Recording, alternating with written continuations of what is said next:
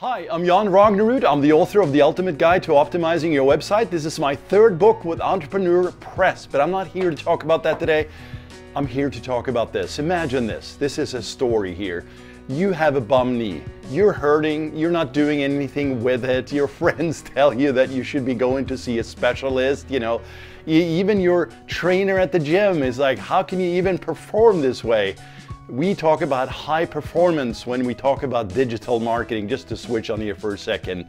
And this is what we do, right? In life, career, business, a little bit of analysis, research, and we push forward without much thinking to what's up ahead. Well, actually in digital marketing, specifically SEO and websites, I'm bringing it back now to your current world. It's all about analysis. And so I wanted to share with you three things that you can do right now to get a better handle on high performance going forward, right? Forget the bum knee, forget amputations, you know, any knee-jerk reactions, no pun intended. Here's what you do. Number one, get your Google or web analytics in play, get your search console working.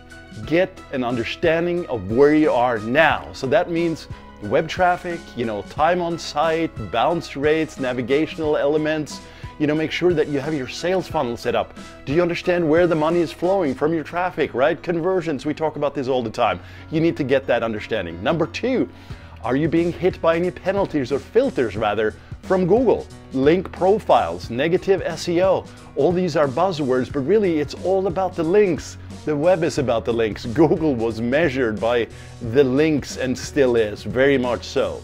Number three, what you need to do is get a complete SEO audit. And yes, this is my pitch to have you download my SEO checklist that I use with my clients and you can get it for free. In fact, I urge you to copy it step by step. There's 27 points in it and you are welcome to have it.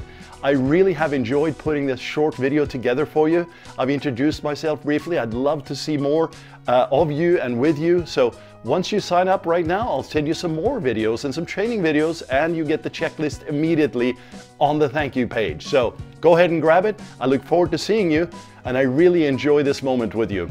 Take care. Jon out.